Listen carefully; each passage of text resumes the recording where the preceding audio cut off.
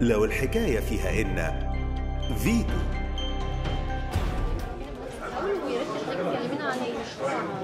دكتورة نشوى أيوب رئيس قطاع التعليم بمؤسسة مصر الخير المشروع هو مشروع آه، إنشاء وتطوير طريقة التعليم في مدارس الجزيرة الجنوبية المشروع دوت إحنا كنا في شراكة مع القطاع الخاص آه، من خلال آه، شركة إكسون موبيل ووزارة التربية والتعليم. هي دلوقتي وزارة التعليم الفني والتدريب عشان ننشئ آه، قسم بيت القوميات ونطور التعليم في قسم بيت القوميات لما نشأناه كنا مركزين جدا على تطوير العملية التعليمية من خلال تطوير المنهج التعليمي آه، عمل منظومة لتدريب المدرسين آه، وكمان الشغل على الجزء اللي علاقة بالورش والمرحلة والجزء التدريبي الفني.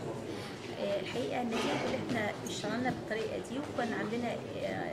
طريقة في التعليم متعارف عليها عالميا اسمها STEM اختصار science technology engineering and maths وهي قائمة على التعليم القائم على المشروع. هو مشروع يعني مشروع محدد وكل المواد التعليمية بتدور حوالين هذا المشروع. آه، النتيجة الحقيقة إن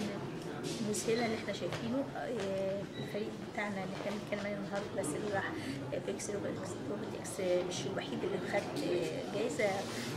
من المدرسة لسه امبارح في مجموعة تانية خدت جايزة تانية. إحنا بنتكلم على إن الولاد جوه المدرسة طريقة تعليمهم مختلفة طريقتهم لل- للواقع والتعامل مع مع المشكلات بقت مختلفة وده اللي أهلهم إن إحنا ياخدوا مصر تبقى ال- الدولة العربية الوحيدة اللي واخدة جايزة في المسابقة حاليا إحنا لينا خبرة بشكل ما المدرسين التانيين بتوعنا اللي هم مدرسة آه، مش بتوع سيوس وبورسعيد واسكندرية آه، وإن شاء الله إحنا ده كنا بنعمل نموذج عشان إن هو ناجح آه، إحنا كقطاع مدني مؤسسة مصر الخير وندعو كمان الآخرين إن هم ي- يبدأوا يوسعوا وينشروا الفكرة في جهات تانية. طيب بالنسبة في مدارس في القاهرة كانت إيه، إحنا حاليا ما عندناش مدرسة محددة في القاهرة لكن إن شاء الله إحنا لما ننهي ال- ال- المشروع اللي بيدته خمس سنين ولادي سنه ثانية المفروض السنة الجايه ان شاء الله هنبدا نوسع في محافظات ثانية مش عارفه بقى لو هيبقى في القاهره ولا في محافظات ثانية إيه، لكن يعني إحنا الحقيقة مهتمين أكتر في المحافظات اللي هي بتبقى واخده أقل دعم القاهره لكن فكرة التعليم من خلال القائم على المشروعات هو ستيب مش بتنافس على أي نوع من أنواع التعليم.